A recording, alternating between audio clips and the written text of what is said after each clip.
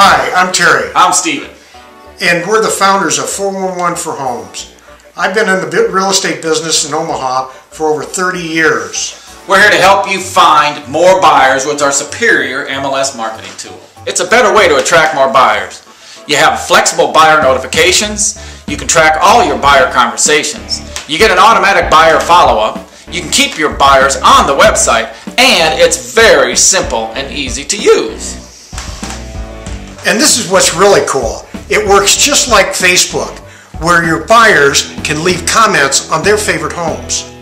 To receive these benefits, all you have to do if you have a website is link your home search button to us. If you don't have a website, we'll build one for you. As you know, buyers start online eight months prior to them contacting you. You want to make certain that they're on your website. So there's three steps to get started.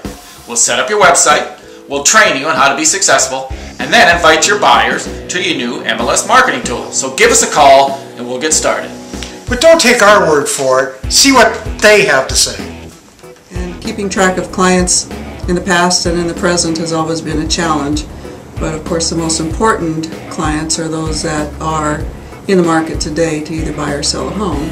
And what's nice about having my own website with my own name over and above the ego part of it is that um, every time the client logs on, it's like the client is speaking with me. And everything the client selects is telegraphed to me via email or text message so I know that the client's been on the site and what the client has been looking for.